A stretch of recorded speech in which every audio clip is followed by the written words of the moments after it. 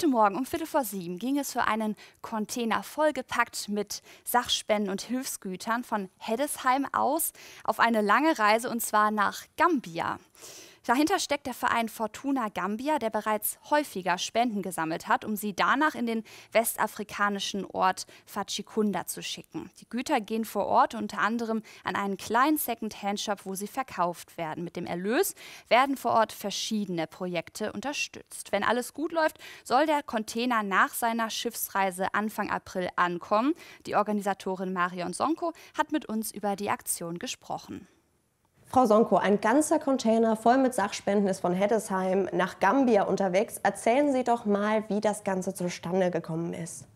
Als mein Mann damals nach Deutschland gekommen ist, hat er sich überlegt, ähm, falls er zurück muss nach Gambia und nicht hier bleiben kann, wie er eine Perspektive für sich schaffen könnte. Damals hat er direkt angefangen zu arbeiten und hat dann gedacht, Mensch, so ein kleiner Second-Hand-Shop, vielleicht kann ich da was organisieren.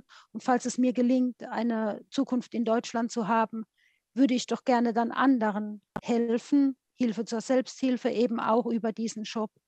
Und so hat er gedacht, und, äh, dass das vielleicht eine gute Idee ist. Und das hat sich auch als, als solches herausgestellt.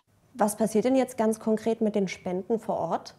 Unsere Idee ist mit dem Second-Hand-Shop ist auf alle Fälle Arbeitsplätze zu schaffen, Fluchtursachen vermeiden, Perspektiven bieten und natürlich auch die Refinanzierung des Containers.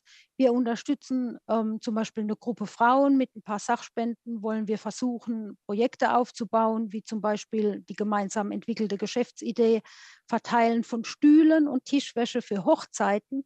Die vermieten das dann. Ähm, wir haben jetzt wieder Muster äh, mitgeschickt für neue Ideen, die eine Schneiderwerkstatt dann umsetzen kann, damit die drei Auszubildenden da gesichert finanziert werden können. Wir haben Material für unsere Fußballakademie drin, damit die Mannschaften gut ausgestattet sind. Ähm, damit alle ordentliche Fußballschuhe haben, was nicht ganz einfach ist für 75 Kinder ähm, ab vier Jahren. Wie ist das? Haben Sie noch weitere Aktionen für die Zukunft geplant? Ja, auf alle Fälle. Wir, wir, versuchen das einmal im Jahr tatsächlich durchzuziehen, einen Container zu machen. Wichtig ist eben auch uns, dass wir das Hospital unterstützen können mit Sachspenden. Da fehlen Einweghandschuhe. Also es ist ein ganz großes Thema aktuell, dass da ähm, kaum Handschuhe da sind. Die sammeln wir immer vorher ein. Verbandsmaterial, abgelaufene ähm, Verbandskästen für die Autos, Rollatoren, Rollstuhl. Im Prinzip alles, was wir kriegen können und irgendwie sinnvoll einsetzen können vor Ort. Dann hoffe ich, dass die Spenden gut ankommen. Danke, Frau Sonko. Ja, gerne. Ich danke Ihnen.